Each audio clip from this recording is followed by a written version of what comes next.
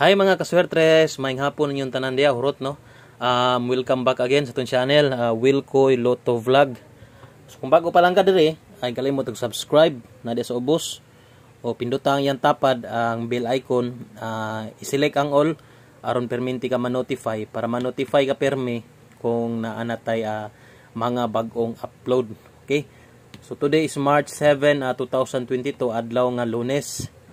So mag-update lang ta sa resulta sa alas 2. Uh, ah, dayon natay uh, pahabol uh, nga pair og kombinasyon para pang alas 5 laos alas 9, okay? So disclaimer lang kinintanan akong ipang sulat diri. Uh, kini mga guides lang gyud ni uh, mga probables only lang nino. So wala gyud ta manigurado diri.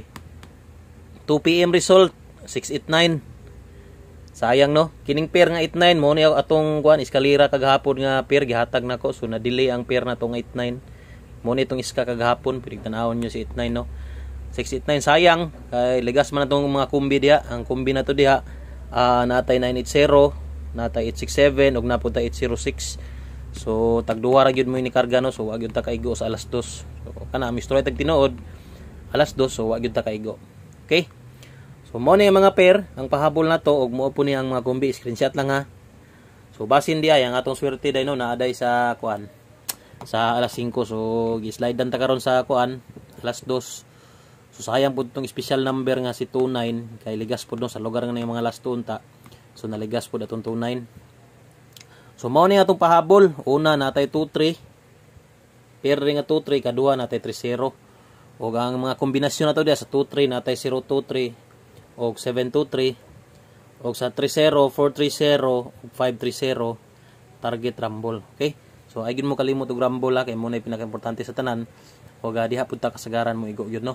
So mo na itong pahabol 5 to 9 PM. Okay? So daghang kay salamat ha sa mga bagong nag-subscribe diri o sa mga solid subscribers na kunan diri. So win or lose nagpabiling gyud gihapon mo. So daghang kay salamat ha. Thank you kayo. God bless niyan tanan. So kana lang mao na ato nga pahabol. So inaota base niya no kung kunya pag human sa draw sa kuan alas 5 mag-live ta unya. Basig magrasyan ni taon niya. Okay, so kana lang amping mo tanan na. This is Will Koy Lotto Vlog. Good luck, God bless, and bye-bye.